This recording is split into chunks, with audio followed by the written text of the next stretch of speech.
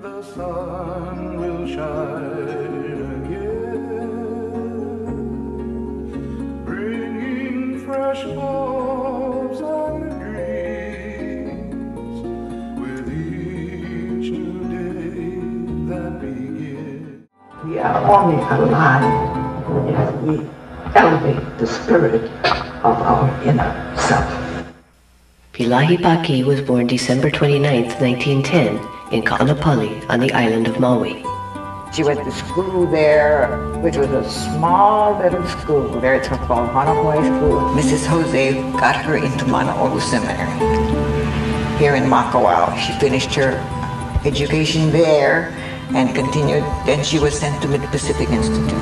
I must thank my father for having opened that when he says, you will be living in the, wo- in the Ha'oli time. And the wise thing to do is to move with the time. Because time is a thing that belongs to no one. Pilahi Paki was a philosopher, especially of things Hawaiian. I think Mama was a, uh, everybody's idea of what uh, intellectual Hawaiian would look like.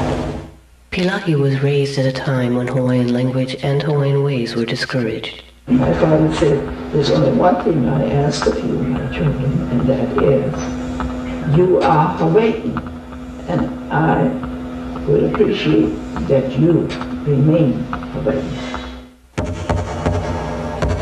It was my great-grandfather that mapped the conquest of this island that would decide, that would give an heir Kamehameha the, what you call, declared as the uh, Napoleon of the Pacific. She married and moved to Honolulu. She worked as a telephone operator, a nurse, a tour guide. Because of her travel business, you know, working as a travel person, she wanted more information so she could share with the tourists. So she went to see this man. She got out of the car and she walked into the yard, and this old man from inside started chanting, Hele mai, you know?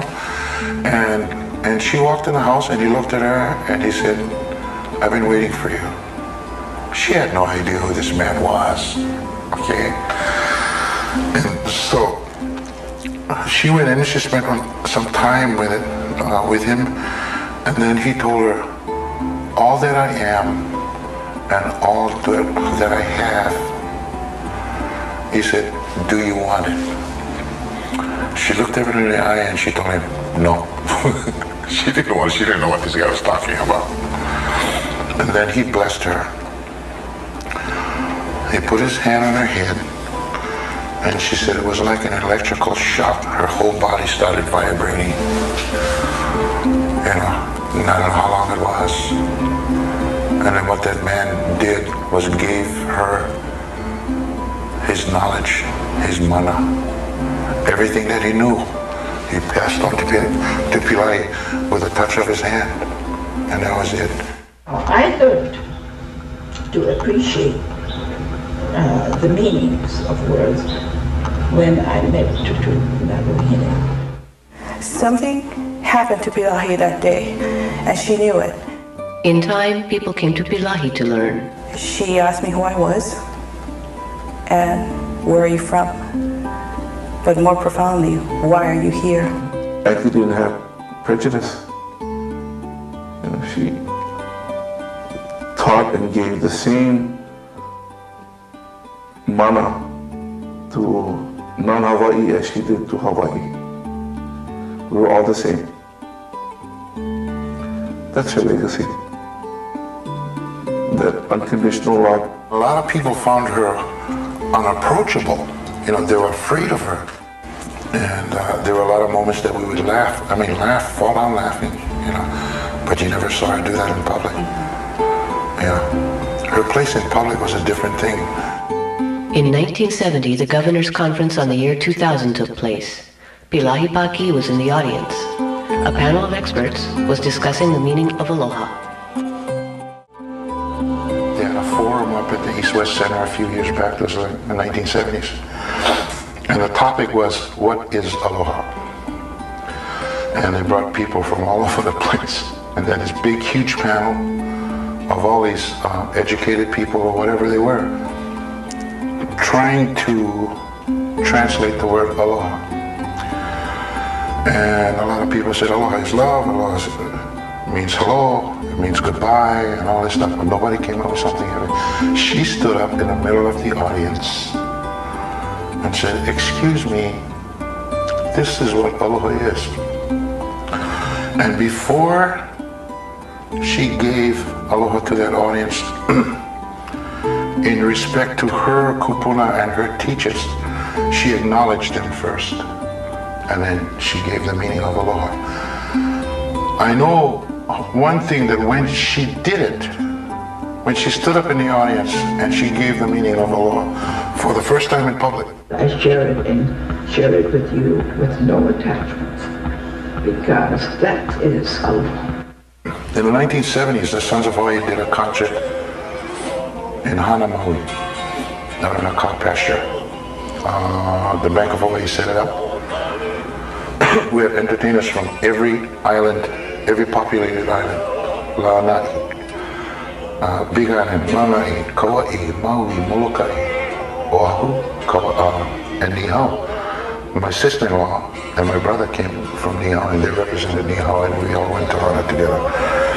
And that day, they had plenty of kupuna there. Uh, Kawena was there, Auntie Alice Namakelua, um, Pilahi, uh, I think Pat Bacon and them were there. You know, there were, all of them were there.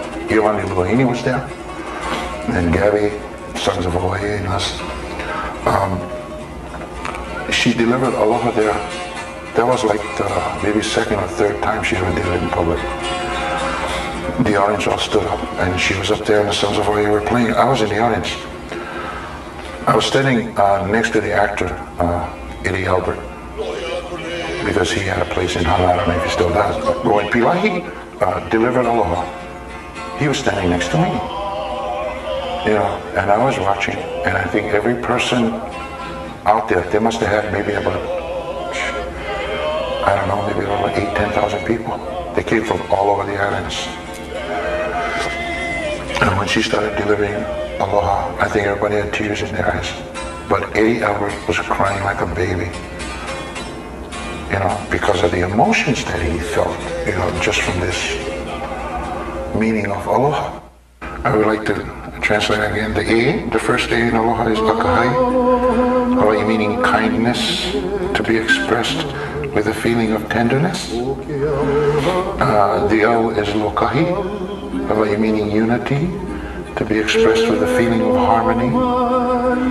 The O is oluolu, to be expressed with a feeling, Hawaii meaning oluolu, Hawaii meaning agreeable, to be expressed with a feeling of pleasantness. The H stands for ha'aha'a, Hawaii meaning humility, to be expressed with a feeling of modesty.